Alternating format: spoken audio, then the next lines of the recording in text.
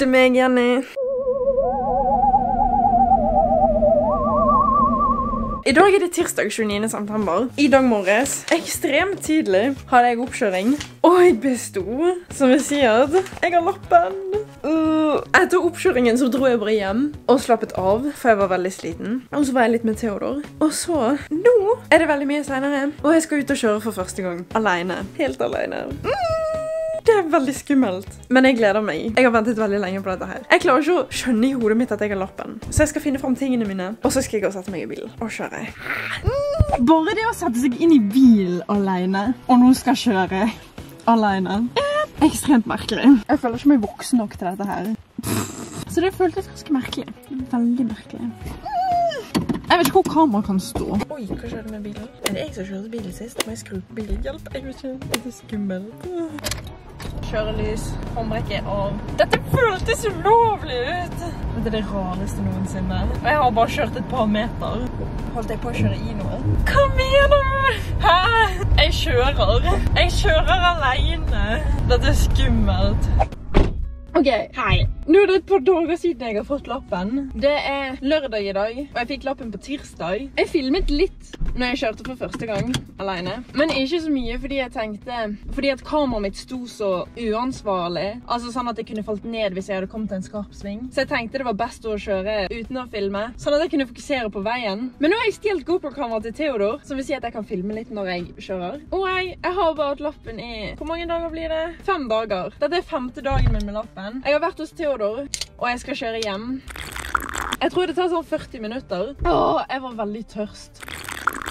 Tingen er det at nå har jeg blitt vant til å kjøre på natten. Fordi jeg har kjørt en del med vennene mine på natten, og da er det så vidt noen biler på veien. Nå skal jeg kjøre når det Hvor er nøklene mine?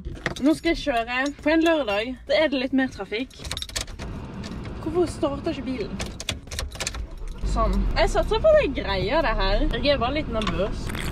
Meg og Theodor dro på en butikk.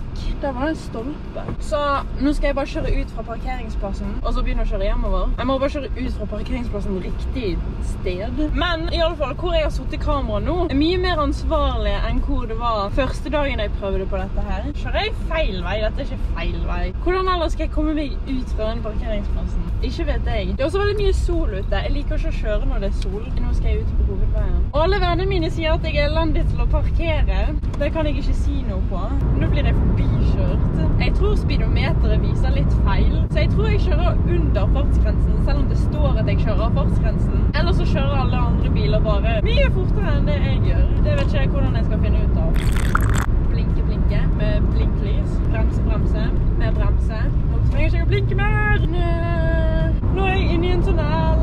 Jeg tror jeg har kjørt bil så å si hver eneste dag siden jeg fikk lappen. Og så kjører jeg og møter vennene mine sånn klokken ni på kvelden, og så kjører vi til langt på natt. I går lekte vi bilgjømsel, så det er noe. Og hvis du lurer, sikkert ikke så mange som lurer, jeg kjører bil til mamma, som er en liten Toyota Yaris. Og den er ganske gammel nå. Yay! Det her var jeg veldig flink til.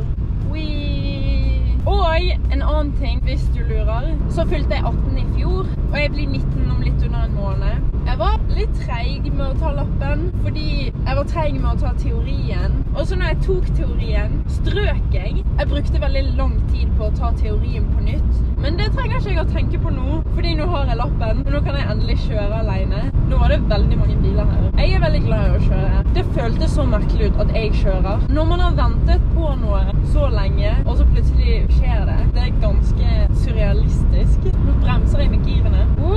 Jeg synes det er ekkelt å kjøre noen steder hvor det er smalt og svingete, og man møter på biler. Jeg har alltid elsket oktober, men jeg elsker høsten generelt. Oktober er den ultimate høstmåneden. Han bare kjørte ut i veien. Hva funker det også? Jeg er veldig glad i å kjøre. Jeg er ikke så flink med sånn bilting, men denne bilen her er veldig dårlig til å akselerere, om det er det som er riktig ord. Nå som jeg har lappen, føler jeg at jeg kan gjøre mye mer og dra flere steder. Hvor jeg bor, er ikke det så mye busser som går. Jeg liker gule biler. Livsoppdatering. Jeg har lappen. Jeg kan kjøre sjøl. Jeg bor fortsatt hjemme. Jeg har fått meg jobb, så da kan jeg tjene litt penger i friåret mitt. Og nå lukter det svidd. Jeg er redd for det er denne bilen. Jeg har en tendens til å overtenke ting. Første dagen jeg kjørte, satt jeg egentlig bare og sa sånn at det føltes veldig merkelig ut. Og det føltes fortsatt ekstremt merkelig ut. Det var en natt jeg kjørte, og så møtte jeg på to. Knakk jeg den? Fikset den. Det var en natt jeg kjørte. Så møtte jeg på hjort to ganger. Jeg er redd for at de bare skal hoppe foran bilen. Wee! Gire, ikke si at jeg må bakkestarte. Jeg hater å bakkestarte. Men nå var det veldig mye sol i ansiktet mitt. Jeg elsker denne Red Bull her. Jeg var sykt trøtt i stad, fordi jeg var våken til tre på natten. Mer. Jeg må gire. Det er en syklist foran meg. Han kjørte til siden. Takk. Er ikke det rart å se meg kjøre? Jeg syns sjøl at det er veldig merkelig å se meg kjøre. Å, jeg ødela den igjen! Nå er Red Bullen min tom. Det var litt trist.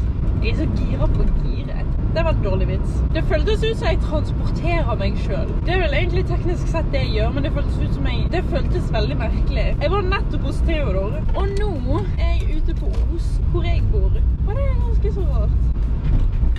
Det var et bekkalokk. En gang slo jeg hodet mitt i et bekkalokk. Så fikk jeg en gigantisk kul. Jeg løp, og så bare trynte jeg med hodet først i et bekkalokk. Det er ikke den fineste opplevelsen jeg har hatt. Men jeg tror ikke jeg fikk uh, hjernerystelse. Men det fikk jeg når jeg løp med hodet først inn i et bagasjerom. Så et lite tips. Ikke løp med hodet først inn i et bagasjerom. Bagasjerommet er mye mindre enn det du tror. Eller så er det bare en sånn feil jeg gjør. Ah, hjemme! Nå må jeg skru av bilen. Sånn. Nå er jeg hjemme igjen. Det var litt merkelig. Men nå er jeg ekstremt varm, for denne bilen har ikke aircondition. Han har aircondition, men aircondition funker så vidt. Snakkes! Så, livsoppdatering. Jeg har fått lappen, og jeg kan aldri kjøre bil alene. Det er ganske så gøy. Jeg liker det. Jeg liker det. Uansett, la noen merke til at jeg hadde endret introen til en Halloween-intro. Det måtte bli gjort. Uansett, jeg er glad jeg kan kjøre alene nå. Jeg har ventet på dette veldig lenge. Det var veldig merkelig at en sånn 40 minutters tur ender opp i sånn 6 minutter. Det er ganske rart. Jeg kjørte ganske lenge. Men uansett, hvis du vil kan du følge meg på Instagram. Si ifra om jeg skal kjøre mer på YouTube i videoer. Og så snakkes vi med neste video. Ha det bra! Wow.